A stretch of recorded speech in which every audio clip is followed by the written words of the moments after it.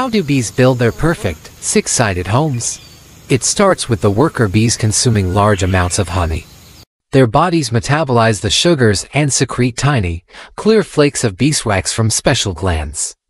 Other workers then collect these scales, chew them to make them pliable, and painstakingly sculpt them into the iconic hexagonal cells of the honeycomb.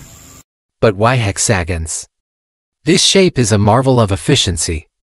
It uses the least amount of wax to hold the most amount of honey, creating a structure that is both lightweight and incredibly strong. This isn't just a pantry, it's a masterpiece of natural architecture. Once the comb is built, foragers return with nectar. This nectar is passed from bee to bee, mouth to mouth, reducing its water content and adding enzymes. The processed nectar is then stored in the honeycomb cells, where the bees fan it with their wings to evaporate even more water until it becomes the thick, stable food source we know as honey. This is their energy reserve, the fuel that will power the colony through the winter and sustain generations to come. A bustling city of thousands needs a sophisticated communication system, and bees are masters of language. Their most famous form of communication is the waggle dance.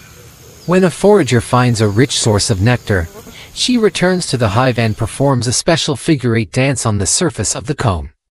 The angle of the dance in relation to gravity tells her sisters the direction of the food source relative to the sun. The duration of the waggle part of the dance indicates how far away it is. It's a living GPS, a precise map shared through movement. But their language doesn't stop there. Bees also communicate through an invisible world of chemical signals called pheromones.